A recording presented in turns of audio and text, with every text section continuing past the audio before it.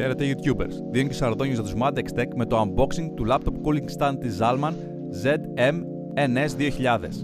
Το παρό μοντέλο διαθέτει χαμπάκι USB, ανεμιστήρα 200 χιλιοστών με ρυθμιζόμενη ένταση και είναι ιδανικό για laptop έως 17 inches. Στο πίσω μέρος του κουτιού, εκτός από όλα τα χαρακτηριστικά, υπάρχει και ένα ειδικό έντυπο της Zalman, το οποίο είναι κολλημένο αεροστεγό, αλλά πιστέψτε με, μόλις το διαβάσετε θα δείτε ότι δεν είναι καθόλου σημαντικό.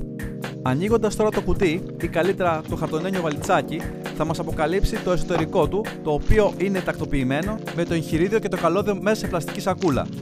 Το καλώδιο USB πρόκειται για micro USB και διπλής απόλυξη σε κανονικό USB 2.0, ενώ στο εγχειρίδιο θα βρείτε όλες τις απαραίτητες πληροφορίες για το πώς θα συνδέσετε τη συσκευή σας. Α περάσουμε όμως στη βάση αυτή καθεαυτή. Ανοίγοντας τη σακούλα, θα δούμε ότι πρόκειται για μια καλέσθητη κατασκευή από πλαστικό και μέταλλο, η οποία διαθέτει διάφορες επιλογές ρύθμισης του ύψους. Από 45 μοίρες, 30, 20 μοίρες έως και 7,5 μοίρες που είναι στο κατώτερο σημείο.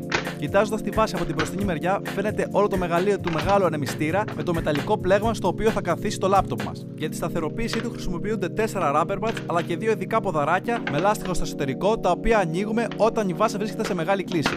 Στη δεξιά πλευρά της βάσης βλέπουμε το ρυθμιστή έντασης του ανεμιστήρα μας αλλά και της λειτουργίας on-off με μια ροδέλα αλλά και το χαμπάκι των 2.0 USB θυρών το οποίο συνδέεται με το ειδικό καλώδιο που περιλαμβάνει τη συσκευασία.